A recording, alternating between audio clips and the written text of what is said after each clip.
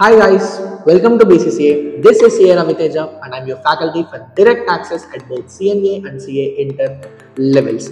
So the exams are pretty near. I hope you guys are fine with your preparations. From our side, we have already uploaded the detailed exam oriented batches for all the eight subjects and we are receiving a tremendous response for all those subjects. First of all, thanks to you for all that response guys. But still, I want to provide something more than that. So what I did is I have again analyzed all the past papers and I have carefully picked super 35 questions for my subject that is direct taxes even if you don't start your preparation by now, if you just watch this super 35 questions along with the concepts, because in this video, I have not only explained the relevant questions, I have also covered the relevant concept also very in depth.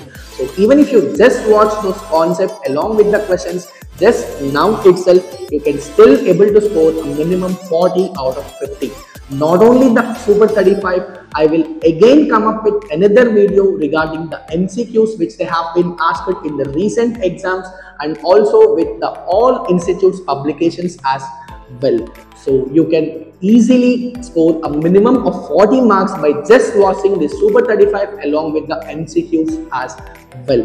So stay tuned to bcca for further updates. Thank you guys and all the best for you